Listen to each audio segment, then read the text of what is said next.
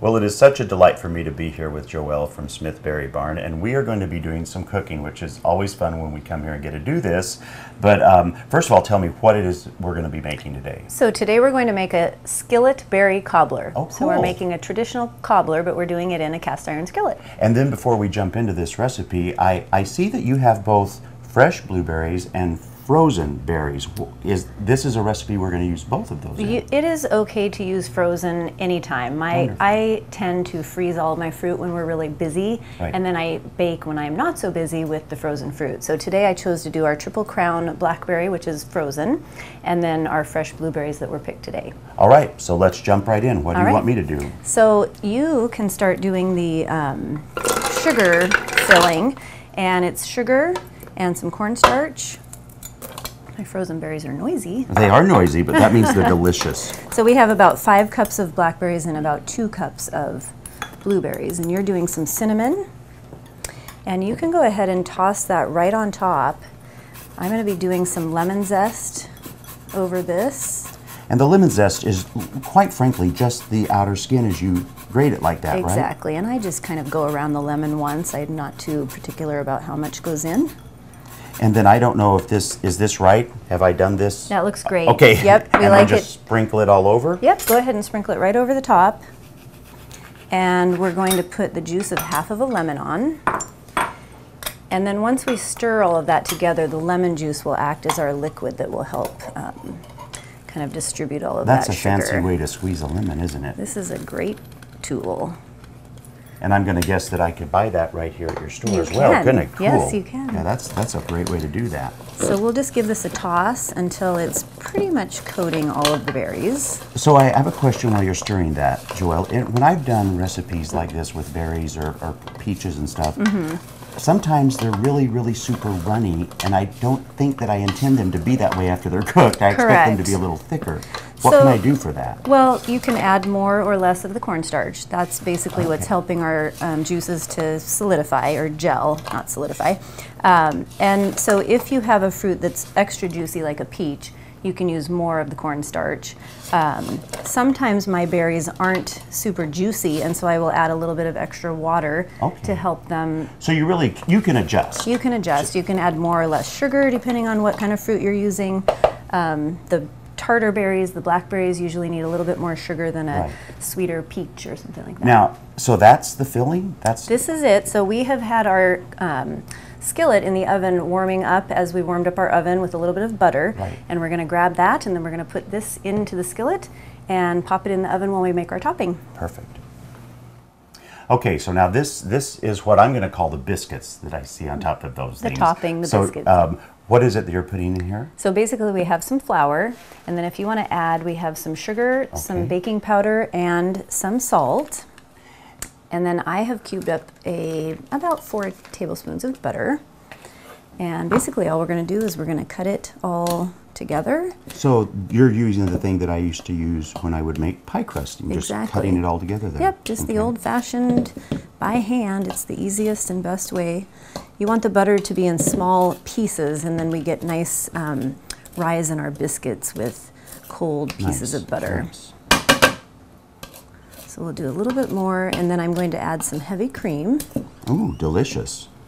which is nice and rich. Right. So about a half a cup of heavy cream. I'm going to leave a little extra in my um, cup to uh, top it with with a little bit of sugar at the end. Oh, okay. So to spare just a little. And then this will mix. And I get the feeling that I don't see a, a, a blender here. I suspect you're going to do this all by hand, This is you? totally by hand, so mix it just enough to get it to come together. Right. And then basically all I do is I piece the biscuits together by hand. I'm going to make about So you're not even going to roll this out and cut them. You're going to all do it by hand. I'm just going to do it in this one pan so I don't make a mess. And I will just start patting together my little biscuits. And I'm going to make probably about seven. And so you really, the, you're not making them very fancy. You're This just putting them. very rustic. Yeah, I like that. No, that's really cool. And you can make smaller, you can make them bigger. This size will cover the pan nicely, but leave enough room around the sides for it to vent. And you should have just enough um, biscuit to make a biscuit per serving with enough filling inside to have a nice amount of filling per.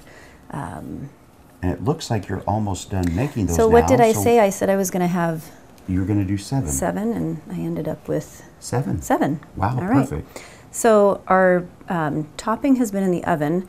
We need to raise the temperature to about 400 degrees so that we can cook the biscuits on a little higher temperature. Okay, so explain that to me. I'm a So- simple lad. So- you're you're wanting you you've got it cooked at 350 up until now. You're you're raising it so that these cook a little bit differently then? Exactly. We need them to cook fast and high so that they get a nice puff on them. We want them to be browned, but we need the filling to be simmering a little bit before that. We need it to cook down a little. So that's what's been happening. Now we're going to raise the temperature. We'll put the biscuit topping on and then we will bake it off. All right, let's do that. All right. Okay, so now we're waiting to put the biscuits on, and I'm going to call them biscuits because that's what they look like to me. Can keep Can I calling do them biscuits. Yep. Can I ahead. put them on there? Yep. Okay. One in the middle, and then just right around the center.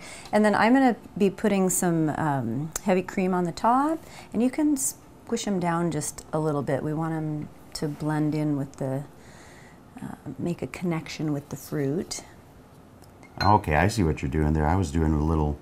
I'll try to get this one a little closer, You're good. and then there, this one. All right.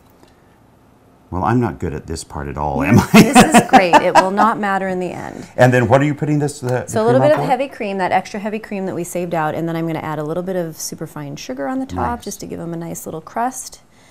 And then we will pop it back in the oven at our 400 degree temp for about 25 to 30 minutes. You want to watch that last five minutes to make sure you have good bubbling um, sauce, but also that you have nice browned biscuits. Right. Okay, let's So we're going to back go in back there in the oven.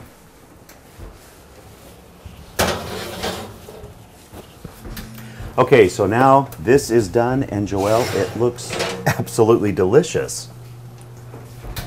So what is it that? How would we serve this? Because it just came out, so it's This a little is fresh little out of the oven. maybe. It's going to be a little saucy right Yeah. now, but we want you to have a bite. Okay, So well I'm not going to say no.